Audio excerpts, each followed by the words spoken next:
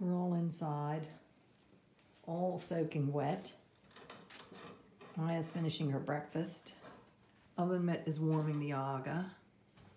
I'm about to have a coffee. My hat is drying on the aga. It got so wet. Bear and Pepper are sharing a bed. Inca is on the chair. She's pacing around because she doesn't want to. Take it easy. And uh, I'm about to sit down and have a cup of coffee and overindulge in a packet of gluten-free biscuits.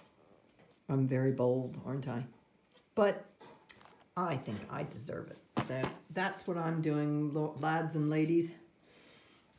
So surrounded by me dogs and one cat. Oh, and the other cat. There's Miss Marley up at the top. Miss Marley, kitty kitty. Nope, fast asleep. Absolutely fast asleep. And right here are my beautiful, beautiful daffodils. No, what are those things called? Geez, I didn't have any night's sleep. Those are called tulips. Tulips, tulips, tulips. Silly woman.